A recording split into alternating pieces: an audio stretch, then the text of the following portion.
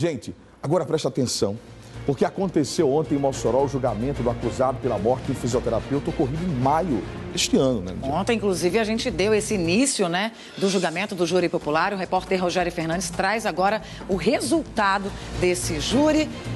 Rogério, o réu foi condenado? Olha, Leite Anato foi condenado sim a 18 anos de prisão inicialmente em regime fechado.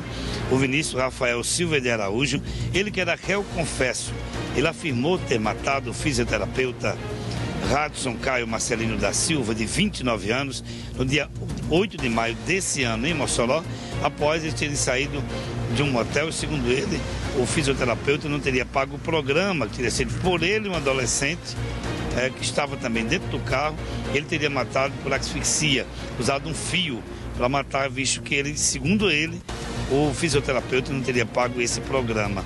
A condenação foi ontem, 18 anos de prisão, inicialmente em regime fechado. Repito que há um tempo essa pena começa a regredir, começa a progredir para um outro regime. E ele termina, é, segundo a própria a própria Constituição, segundo a própria lei brasileira, vai para a rua, é, não passa muito tempo na cadeia, tem que passar um período X de acordo com a lei. A mãe da vítima, ela postou nas redes sociais, fez uma postagem e um depoimento extremamente emocionado, é, avalia, analisando esse julgamento que aconteceu ontem na cidade de Mossoró. A dona Cristina Machado, vamos ouvir. Hoje resolvi falar um pouco sobre a audiência ontem do assassino Vinícius Rafael da Silva, que matou meu filho Adson Caio. Seis meses sem meu filho aqui na terra, porque no coração ele vive. Ele é um pedaço de mim. Ele, não, ele tirou a vida do meu filho, mas ele destruiu a minha vida esse Vinícius Rafael. Ele destruiu a minha vida, a vida dos irmãos, a vida dos sobrinhos que ele tinha como filho, que ele não o amava tanto. A vida dos amigos que amava tanto meu filho. Ele ia para uma tribuna em Mossoró por fora e mentir tanto, dando um de doido. Que doido você não é, não. Que pena. Hoje minha palavra é de revolta. Tô indignada que ele só pegou 18 anos em regime fechado.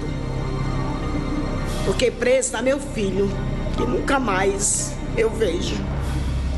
Eu sinto o abraço dele, o eu te amo, manhã. Meu filho maravilhoso, um amigo exemplar. Esse depoimento foi marcado pela revolta, pela indignação.